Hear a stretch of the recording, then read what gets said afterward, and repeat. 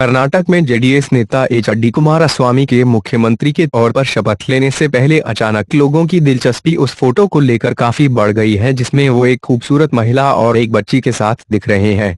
इस फ़ोटो के बारे में कहा जा रहा है कि ये अट्ठावन साल के कुमारस्वामी की दूसरी पत्नी है, जो उनसे 27 साल छोटी है। इस फ़ोटो के वायरल होने के बाद लोग सोशल मीडिया पर खूब चटखारे भी ले रहे हैं और इंटरनेट पर इस खूबसूरत महिला को खूब खोज भी रहे हैं।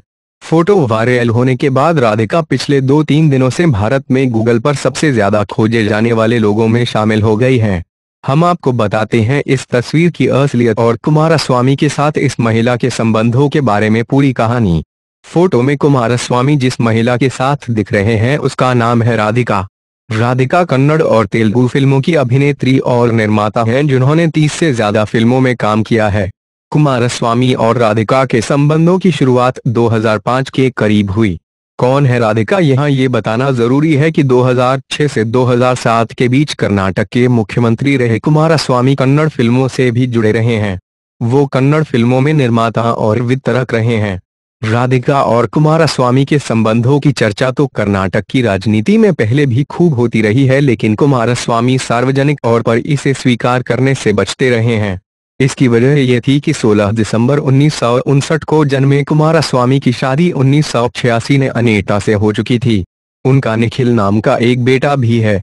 राधिका उम्र में कुमारस्वामी से कितनी छोटी है इसका अंदाज़ा आप इस बात से लगा सकते हैं कि राधिका का जन्म उसी साल हुआ था जब कुमारस्वामी की अनीता से शादी हुई थी। रिश्तों पर चुप रहे। कुमारस्वामी ज़ाहिर है। कुमारस्वामी राजनीति में होने की वजह से राधिका के साथ संबंधों को लेकर ज़्यादातर चुप रहे और इसे निजी मामला बताते रहे। लेकिन इनके संबंधों पर तब पक्की मुहर लग गई जब नवंबर 2010 में खुद राधिका ने कुछ अखबारों में इंटरव्यू देकर ये स्वीकार किया कि उनकी कुमारस्वामी से 2006 में ही शादी हो चुकी है। राधिका ने तभी इस बात का भी खुलासा किया था कि उनकी एक साल की बेटी भी है जिसका नाम शामिका है। कुमारस्वामी तब भी इस मामले पर खामोश ही रहे, लेकिन राधिका के साथ उनके संबंधों को लेकर 2011 में मामला कोर्ट में पहुँच गया। अक्टूबर 2011 में बेंगलुरु के एक वकील शशिधर बेला गुम्बे ने हाईकोर्ट में जनहित याचिका दाखिल करके ये मांग रखी कि कुमारस्वामी की लोकसभा की सदस्यता खत्म कर दी जाए, क्योंकि उन्होंने गैर कानूनी तरीके से पहली पत्नी के रहते राधिका से दूसरी शादी कर ली है। कोर्ट ने सबूतों के अभाव में ये याचिका खारिज कर दी थी।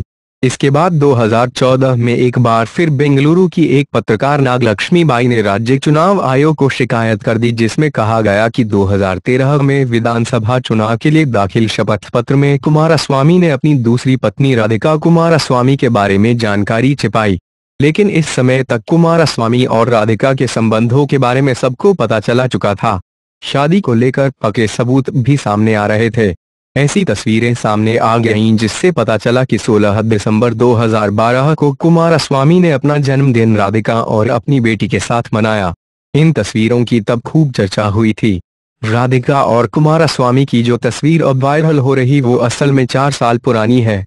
वन इंडिया नाम की एक वेबसाइट ने इन तस्वीरों को 15 जनवरी 2014 को छापा था। वेबसाइट के मुताबिक इस मौके की चार तस्वीरें खुद राधिका ने अपने फेसबुक पेज पर डाली थीं। राधिका ने इन फ़ोटो के साथ लिखा था कि शमिका अब चार साल की हो गई है। फ़ोटो में ये नहीं बताया गया था कि ये किस जगह की फ़ोटो है और कब ली गई है। साल 2015 आते आते राधिका और कुमारस्वामी के संबंधों में दरार आने लगी।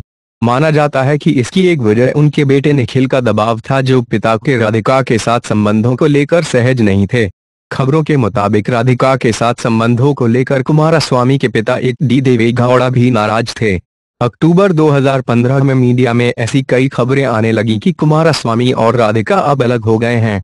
हालाँकि राधिका ने 2017 में एक प्रेस कॉन्फ्रेंस में पूछे गए सवाल के जवाब में कहा था कि उनके नाम में अब भी कुमारस्वामी जुड़ा है और अंत तक जुड़ा रहेगा। राधिका एक बार फिर कन्नड़ और तेलुगु फ़िल्म में सक्रिय हो गई हैं और इसी साल उनकी अगली कन्नड़ फ़िल्म राजेंद्र पुण्य पार रिलीज़ होने जा रही है, जिसमें मशहूर कन्नड़ एक्टर रविचंद्रन उनके हीरो हैं।